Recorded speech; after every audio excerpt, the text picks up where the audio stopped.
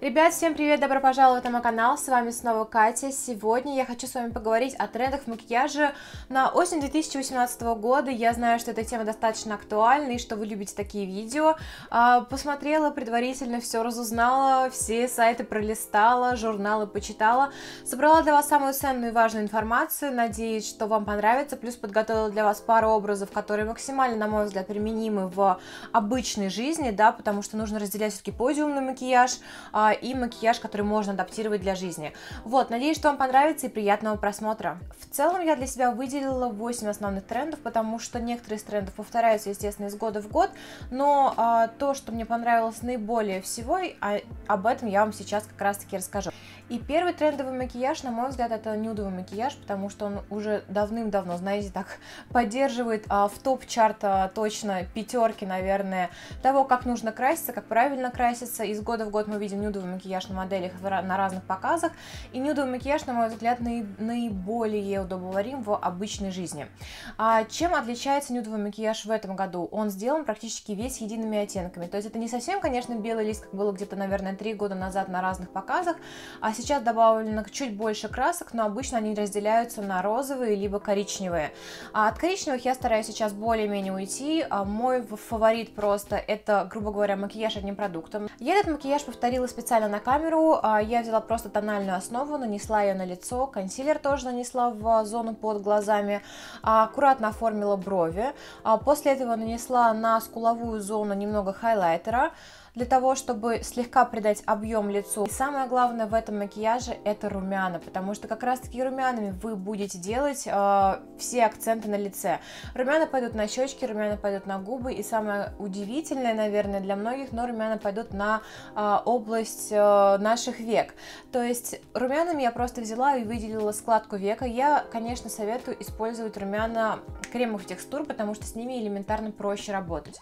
В разы проще. Я вам честно признаюсь, самое главное в большинстве случаев, что они не, не оставляют пятна. То есть, если с сухими текстурами есть вариант того, что у вас румяна будут супер пигментированные, и вы наставите элементарно себе пятен на лице, с кремовыми румянами такая вероятность сходит практически к нулю.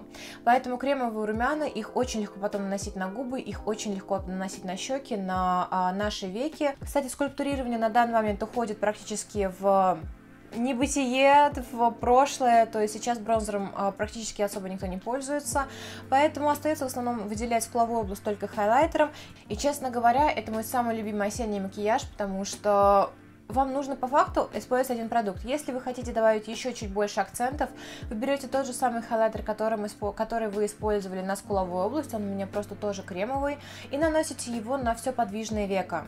И тогда получается максимально красивый, естественный макияж, который именно подчеркивает ваши черты лица в выгодном свете. Могу вам серьезно признаться, этот макияж нравится мужчинам, а, потому что большинство трендовых макияжей не нравится мужчинам, так как они либо слишком яркие, либо слишком для них непонятные, приятные. А этот макияж, он действительно делает, а, знаете, такой очень натуральный вид, очень естественный вид. В общем, то, как будто вы недавно проснулись, умылись свежей родниковой водой, а, съели какую-то, не знаю, а, вкусную булочку и пошли гулять по Альпам. Если уже мы заговорили про румяна, то второй, на мой взгляд, тренд это свежие щечки. То есть, когда вы практически в каждом макияже выделяете свои щечки, создаете им такой супер свежий вид, как будто вы только что вернулись не просто с мороза, а как будто вы действительно взяли снежок и чуть-чуть похлопали себя по щечкам для того, чтобы а, щечки были такие розовые, розовые, прям румяные, налитые. А, я не знаю, с чем это связано, потому что, на мой взгляд, предпосылок особо к данному тренду не было, потому что этот тренд там, ну, насколько я помню, использовался лет, ну, года 4 точно назад уже.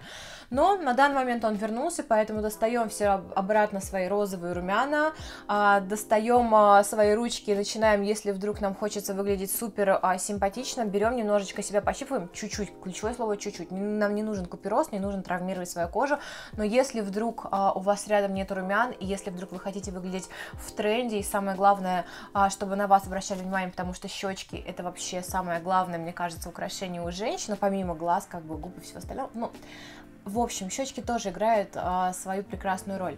Выделяем свои щечки и нравимся тоже всем окружающим. Прежде чем поговорить про следующий тренд, давайте поговорим о цветах, которые супер модные а, в этом сезоне. Это в основном розовый, фиолетовый, который объявлен цветом данного сезона, желтый, оранжевый, ну, в целом более-менее все.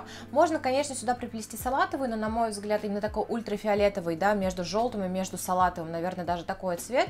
Но, на мой взгляд, в обычной жизни его практически невозможно использовать, а, так как он слишком специфичный, а, и на подиуме это смотрится классно, на фэшн-съемках он смотрится классно, он смотрится очень ярко, как, как пятно, к которому притягивается взгляд, и который, а, это цвет, который задает обычно настроение всей съемки, но в жизни все-таки салатовый вот этот вот ультрафиолетовый цвет, он, на мой взгляд, не очень хорошо смотрится на людях. После того, как мы поговорили про цвета, хочу вам рассказать про главный тренд э, этой осени, это красные губы. А, я не буду рассказывать вам про текстуры, потому что каждый выбирает себе ту текстуру, который, э, который ему больше по душе, потому что мы на подиумах в этом году видели э, как и э, глянцевые текстуры, точно так же и полуглянцевые, да, когда помада, она слегка искрится на губах, а, так как а, то, что вам нравится, что вам больше всего подходит, но самое главное, с чем вам комфортно, то вы вправе совершенно спокойно носить. Поэтому в помадах исключительно играет цвет. Самое главное в этом сезоне найти свой идеальный красный, потому что а, на данный момент красные губы, при этом нюдовые глаза, ну именно полностью нюдовый макияж, они просто завоевали практически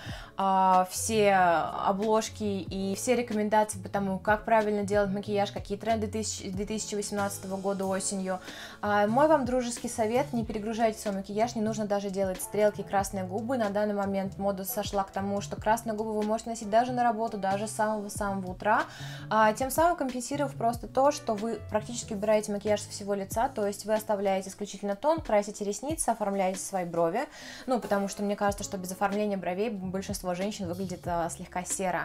Я, кстати, повторила точно такой же макияж, нанесла просто тон на лицо, использовала консилер, а, немного оформила свои брови, но самое главное, что я сделала, я просто использовала красную помаду, а, и на мой взгляд, взгляд, образ получился такой, его как бы можно и в пир, и в мир, и в добрые люди, как у нас принято говорить. А, то есть вы можете его использовать и на работу, в то же время можно, мне кажется, пойти легко с друзьями вечером куда-то посидеть, потому что красные губы это всегда актуально, это всегда к месту, это всегда круто, особенно если у вас правильно подобрана красная помада. Это не всегда легко в плане в том, чтобы их накрасить, но если использовать карандаш, и самое главное, если использовать при этом еще базу под губную помаду, которая сгладит абсолютно все шелушения, уберет их с ваших губок, а, а, таким образом, красная помада будет лежать на ваших губах просто идеально. Сейчас в самом тренде кислотные оттенки, а, все, что касается, не знаю, там розовых, салатовых, каких-то неоново-голубых, а, не могу вам их рекомендовать, потому что, да, это является трендом. Да, вы можете использовать, например, монотени на все веко, то есть если у вас есть одни супер розовые, кислотно-розовые даже тени, вы наносите их полностью на все веко, но, на мой взгляд, в макияже на каждый день это немножечко неприменимо. Поэтому я хочу с вами поговорить о следующем тренде, тренде это пастельные оттенки. Сейчас в э, моде, помимо того, что кислотные оттенки, да, которыми а, делают разные акценты на глазах, допустим, а, какие-то штрихи а, в качестве подводки, либо ресницы, можно даже где-то использовать какие-то штрихи на губах в качестве контура. Но, слава богу, кстати, в этом году тренд у нас практически разные, если можно таким образом выразиться, потому что сейчас в моде еще и пастельные оттенки.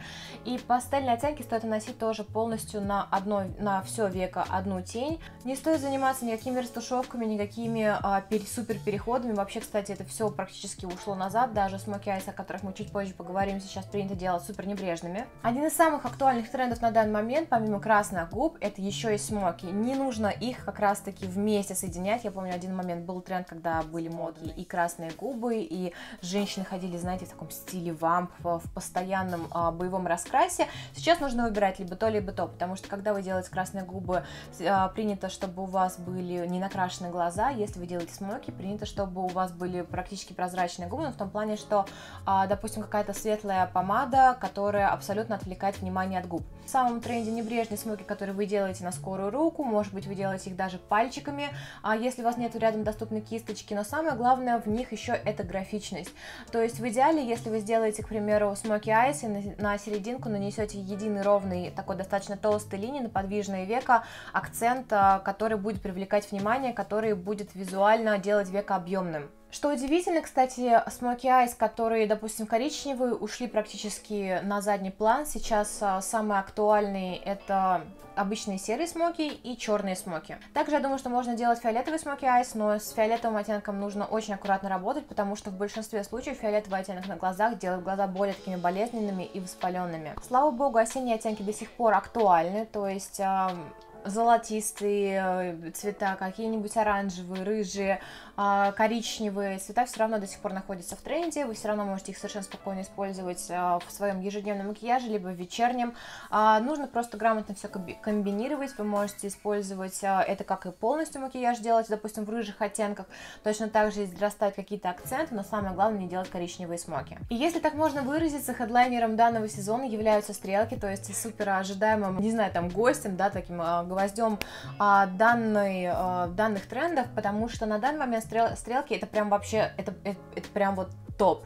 Это прям номер один, потому что вы можете делать как а, графичные стрелки, которые сейчас находятся, которые сейчас как раз-таки на пике моды.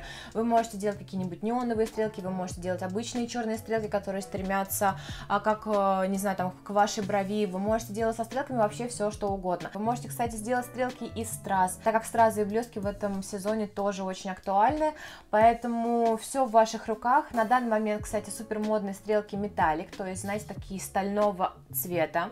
А, главное найти правильный карандаш, либо правильную подводку. Я, допустим, делала похожий макияж а, на, именно со стрелками металлик, но единственное, как вы должны прекрасно понимать, что когда вы делаете стрелки металлик, ну, цвета металлик, то у вас немножечко выцветают, скажем так, глаза, и вам нужно обязательно прокрасить... А, верхнее веко черным карандашом, точнее верхнюю слизистую, для того, чтобы ваши глазки были более распахнуты. Вы уже поняли, мода сейчас нацелена на в основном разнообразие, на какие-то яркие акценты, и не бойтесь их расставлять, потому что зачастую то, что мы боимся сделать, потом оказывается, выглядит на нас очень-очень круто. Если вы за такие видео, обязательно ставьте пальчик вверх, и тогда поговорим с вами про зиму 2019 года, а я с вами прощаюсь, я надеюсь, что вам все понравилось, я вас всех очень сильно люблю, всех целую и всем пока!